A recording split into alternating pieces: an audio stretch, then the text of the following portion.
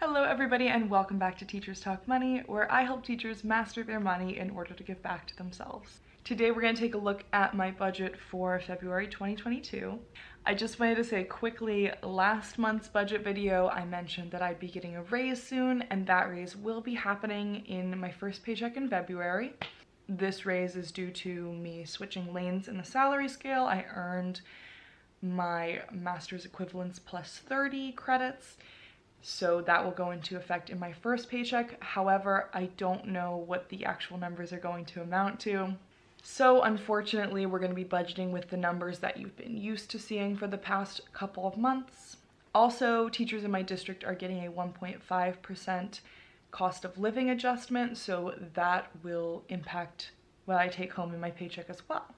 Anyway, I wish I had those actual numbers for you today, but you'll just have to hang tight until my March budget.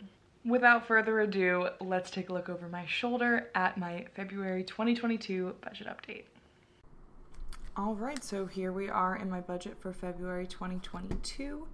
As you can see, I have the same standard income in here that I have been including uh, for the past couple months since starting work but these numbers will actually be different than what's reflected because of the raises that I discussed before we got into the spreadsheet. So starting with my fixed expenses, everything is the same as it has been for the past few months. I have $920 set aside for my March rent, $85 for car and renter's insurance, $45 for my phone bill, and then $6 for recurring subscriptions. I have two check boxes next to rent and my phone bill because those are the ones I actively have to pay, whereas the other things are just taken straight from my accounts. Then my variable costs are here. I have groceries and dining set at 220 still.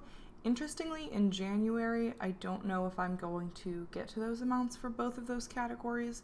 So it might be something that I can lower slightly in the future and maybe allocate that other money towards different kinds of spending or towards savings.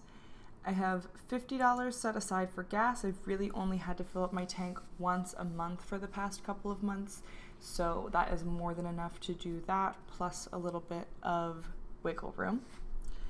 115 for utilities, which has been sufficient so far, and $134 for anything else I might need to purchase throughout the month.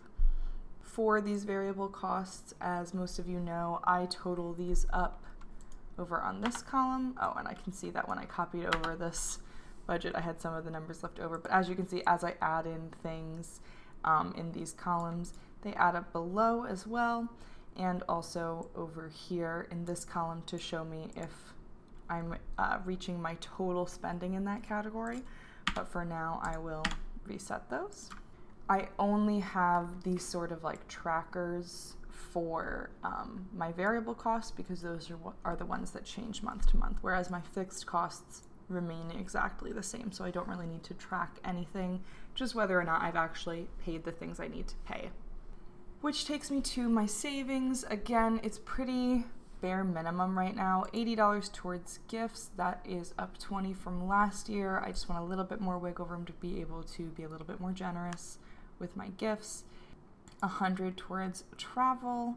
I have some upcoming trips in February. I'm taking a cabin weekend with some girlfriends, and I may be traveling over spring break this year as well. So I have some things I'm working towards, but no super big trips or anything like that, and I don't know what the costs are going to come out to at this point. However, I'm not doing anything that I think is going to be super expensive or cause me to totally drain that account. $70 towards teachers talk money stuff, 360 for paying myself over the summer so that I can live without having to work, $177 to grad school. This is the cost of one 3 credit course where I take most of my courses. I currently don't have anything allocated for my car fund although I do need to sort of focus on refunding that. So potentially, um, when I see the actual amounts for that, those raises that I'll be getting, my car fund will probably be the thing that is impacted the most. And then $70 towards Hattie's needs. So in total, my fixed costs amount to $1,056. my variable costs amount to $739 and my savings amount to $857. Something that I kind of mean to say every budget update but forget often because I mention it in other videos is that the number that's reflected in these paychecks is after all my deductions. So it's after 7% goes into my pension and 17% goes into my 457 and of course all the taxes and um, health insurance and other deductions are taken out. So while you only see savings represented here, I am also investing. I'm just doing that month to month through it coming directly out of my paycheck. So none of that is actually represented in this. This is just what I consider like my spending and saving for the month. And as you can see, all my totals for all three categories amount to exactly the same number of the expected income.